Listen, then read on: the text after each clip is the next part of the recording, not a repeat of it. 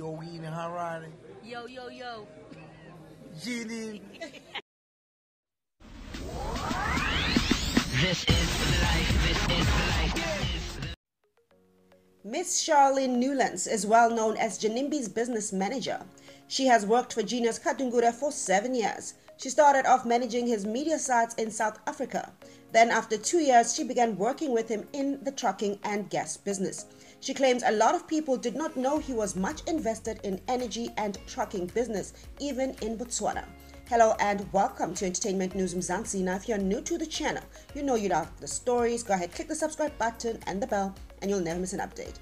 So people are asking so many relevant questions, such as why is she not mentioning the names of the companies he owned? Why has no company management come out with condolence messages since their boss died? With all the self proclaimed educated management team behind his success, no website for his companies has been found in any country that she claimed he has businesses. There is no company that makes millions and does not have a website.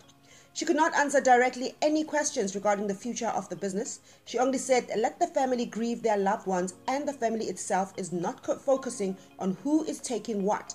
In a nutshell, she did not give anything away, which leaves a lot of questions and room for speculation on how legit Ginimbi's businesses were. Now, Mzansi, do take a look at her interview and don't forget that I do love to hear from you, so do leave your comment on the comment section below. But for now, you know, I will bring you the updates hot, just the way you like it his media side because he wanted to be known in South Africa at first. And then after about two years, I started to work with him a lot in the trucking business. He's big in gas. He's actually in the top three in the gas business in Botswana, which a lot of people were not aware of. So that's something which, uh, you know, it's actually nice that you asked such a question because he was big in gas, he was big in, uh, you know, in energy when it comes to doing uh, trucking business in diesel, etc. So I started to get involved more instead of just doing media for him, but getting, you know, doing a lot of work for him more on the corporate side when it comes to his businesses.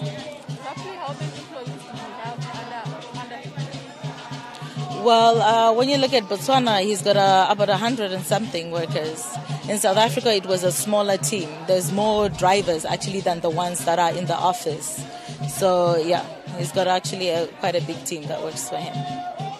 So uh, we've heard rumors that in the past two months he had started selling his trucks in South Africa.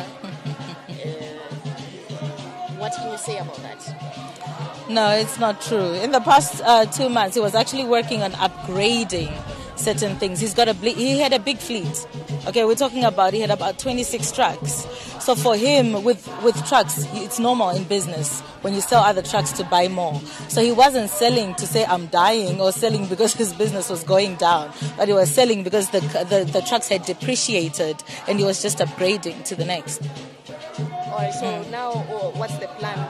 What's going to happen to the businesses? Is there any specific plan or something that maybe he had said he must do? after he's departed. You know the thing with Genius, that's why many people thought he wasn't working. He had, he was excellent when it comes to creating a structure. He dele- his delegation was amazing. He knew how to delegate work, how to delegate duties. So you find that all the companies, the structures are very strong. It's just very unfortunate that he was the brains behind the structure.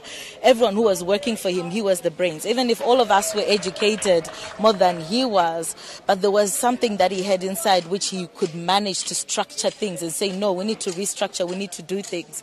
And then for us who, who went far, you know, studying and edu- you know, getting into education would now put, you know, a bit of the books into the way he was structuring things. So there is actually an amazing structure, you know, when it comes to his companies. It's just unfortunate that the brains, the person who would come up with new ideas, is gone now.